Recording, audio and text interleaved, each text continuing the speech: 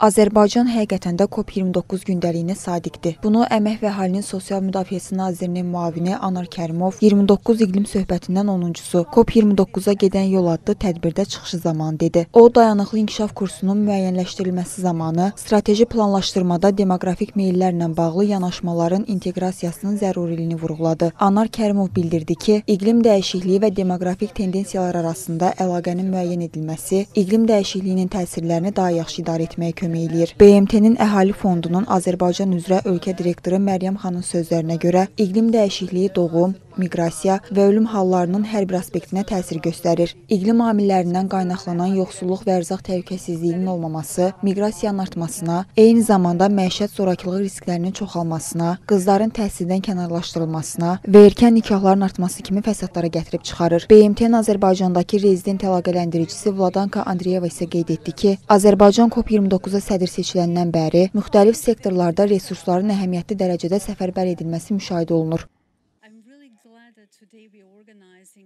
Çox şadam ki, bizi COP29-a aparan 10-cu dialoqu təşkil edirik. Bu gün iqlim dəyişikliyi və xalqların dinamikası arasındakı kəsişməni sınaqdan keçiririk. COP29-a yaxınlaşırıq. Bu tədbirin çox uğurla keçməsi üçün Birləşmiş Millətlər Təşkilatı komandası olaraq Azərbaycanın COP29 sədrliyini hazırlıq prosesində dəstəkləməkdə davam edəcəyik. Biz bir neçə səviyyədə çalışırıq.